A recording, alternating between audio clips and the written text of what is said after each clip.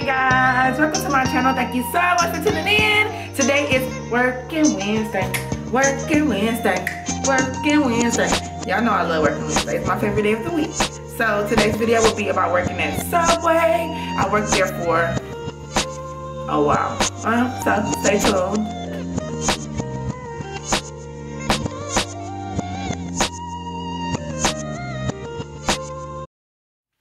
Hey guys, so today's video will be about working at Subway, as you all already know.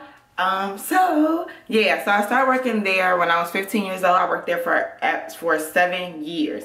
Um, I know that's a long ass time now looking back. Like that was my longest job that I've ever had.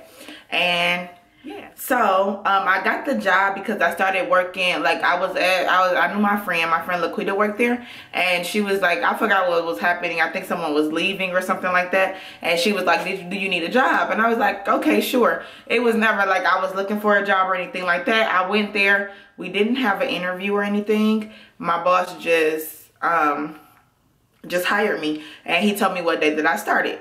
So I so initially starting, I don't really remember like how my first day was.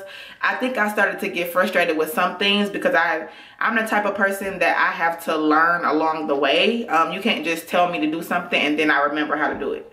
So I was used to get frustrated. Y'all are gonna think this is dumb, but I used to get frustrated because I couldn't wrap the subs up. Like I used to, used to be so messed up, but then I got the hang of it eventually. And I was ready to quit, like, oh, I can't do this. But I did it and I stuck with it. So my pros would have to be my boss. My boss was absolutely the best boss. Um, I learned a lot while being there and the way I acted there, he never fired me. Um, if I was late, like I didn't have a car. So I stayed like literally down the street from my job um, and if I was late or overslept, I wouldn't set an alarm, first off, just to show you how bad my work ethic was at that time.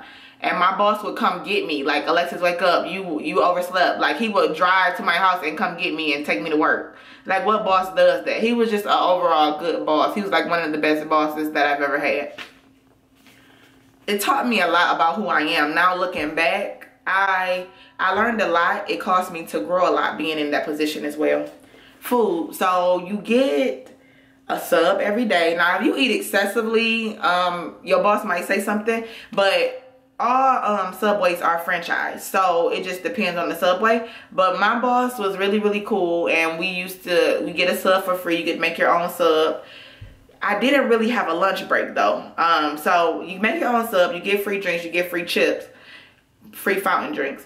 But i didn't really have a lunch break so i would have to say yeah, we'll talk about that in a second.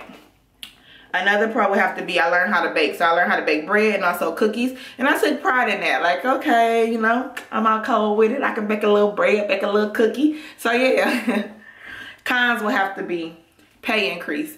Some of my colleagues were coming in making like $13. I was making like $8 and I had to cuss my boss out to get $9. And I feel like that was not right. I did not appreciate it. I was very upset about the whole situation at the time promotion. So some people would get promoted, like would come in, he would make them a supervisor or a manager. And I'm like, okay, I've been here six, seven years and you won't even make me a manager. But now looking back, if y'all would have saw how bad my attitude was, my attitude was so bad at Subway.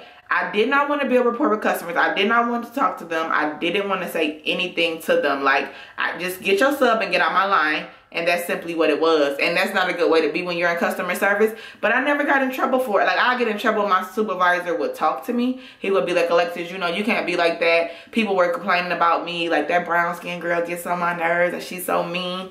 But he never let me go. And that was my first job. And i think i would have been devastated if he did let me go. So yeah i'm happy about that.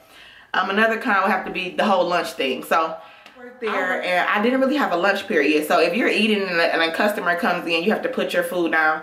I won't really say it's a condo. Um, I'm just want to bring that up and let you all know because it may not be like that now. It just depends on what franchise you work at. It just depends.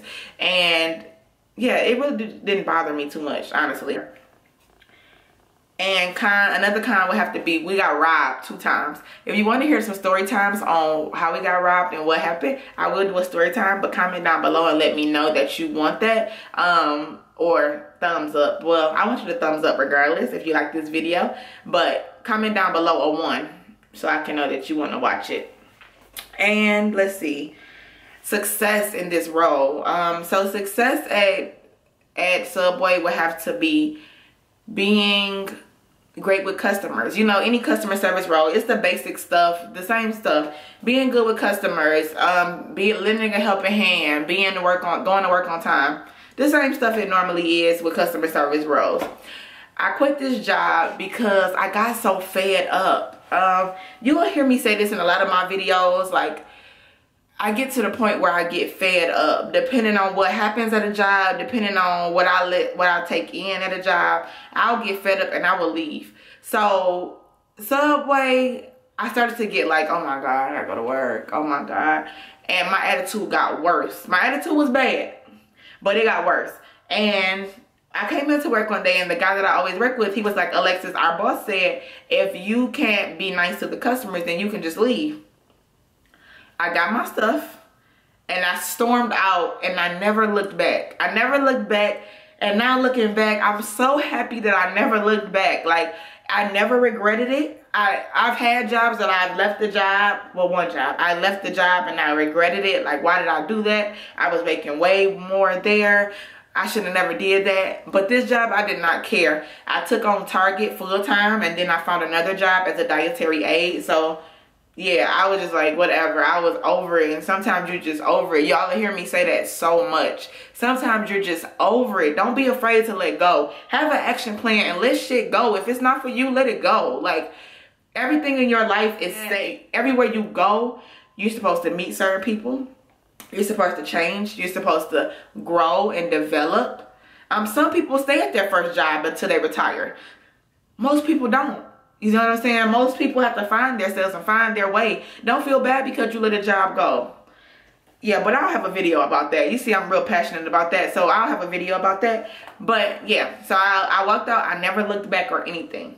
So if you all have any questions about Subway or you want to know anything else, comment down below. I love your comments on my Working Wednesday videos. I know you absolutely love Working Wednesday because it's my favorite. Yeah, I love helping you guys. So if you have any questions, want to know more, comment down below.